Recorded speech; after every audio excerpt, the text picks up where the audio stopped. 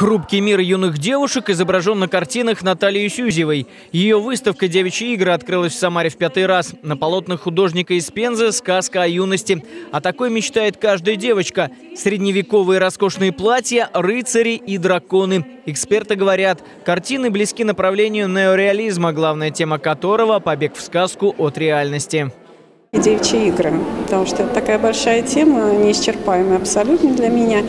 И как с детства девочки играют, принцесс в одежду, в одежку, в женихов, так они и дальше продолжают этим заниматься.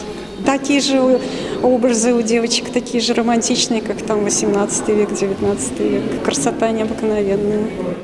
Первая выставка Натальи Сюзевой прошла в Самаре 7 лет назад. Она выставляла картины вместе с работами подруги Натальи Шепелевой.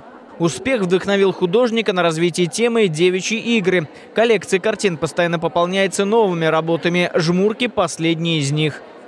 Художник на самом деле удивительный. Пишет сюжет, и главными героями этого сюжета, как правило, являются девочки и женщины со своими тайнами, секретами, со своими забавами, со своими играми. Это всегда очень интересно. И, в общем-то, это у нее получаются целые такие опусы, целые собрания таких работ. Символизм – направление в живописи на рубеже 19-20 веков. Сейчас оно получило новый импульс. Наталья Сюзева успешно работает в этом направлении.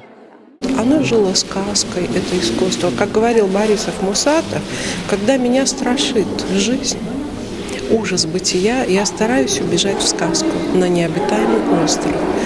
А порою мне кажется, что героиня Натальи Сюзевой напоминает мне Неточку Незваного. Они как бы из других эпох. И есть такая вот какая-то хрупкость в этом образе, потому что этот образ, он тоже стремится противостоять ужасам бытия нашего глобального урбанистического мира.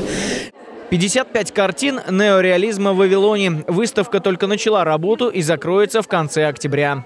Сергей Кизоркин, Максим Гусев. События.